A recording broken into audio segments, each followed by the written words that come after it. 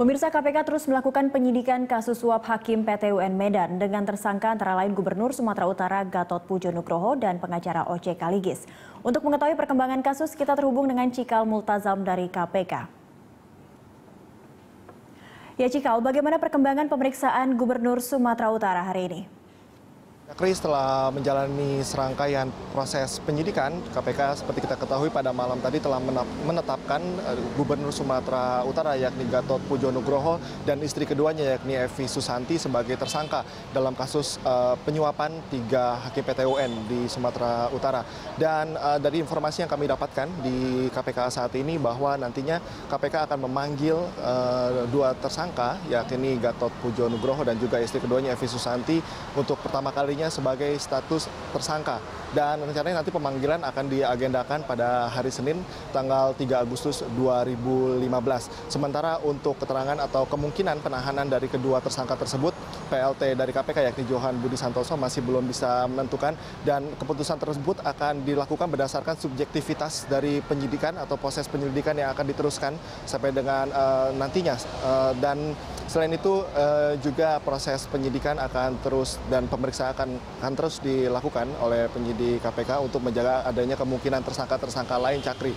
Dan seperti diketahui, uh, kedua tersangka tersebut uh, diancam dengan melanggar pasal uh, pasal 6 ayat 1A dan uh, 1B dan juga pasal 64 dari KUH pidana dengan ancaman maksimal nantinya mencapai uh, 15 tahun.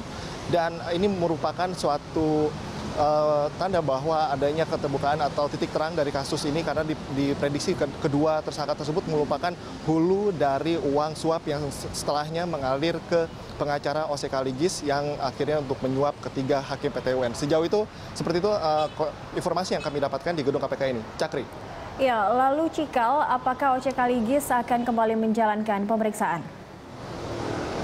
Sebelumnya diketahui bahwa OC Kaligis menolak untuk memberikan uh, keterangan sebagai saksi, namun uh, dari informasi yang kami dapatkan dari PLT KPK ya, yakni Indrianto Senoaji, ia menyerahkan sepenuhnya bahwa uh, keputusan tersebut merupakan hak tersangka, yakni juga hak dari OC Kaligis untuk menolak memberikan keterangan. Namun ia juga menegaskan bahwa penolakan tersebut merupakan kerugian tersendiri yang akan didapatkan oleh OC Kaligis karena nantinya akan uh, adanya gangguan dari atau menunda dari proses uh, penyidikan. Dan untuk saat ini tadi kami memantau ada uh, anak dari OC Kaligis yakni Velove Vexia datang ke KPK.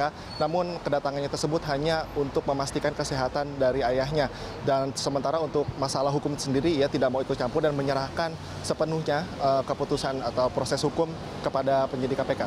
Cakri. Baik, terima kasih Cikal Multazam dan juru kamera Haryadi Jamal yang melaporkan langsung dari gedung KPK Kuningan, Jakarta Selatan.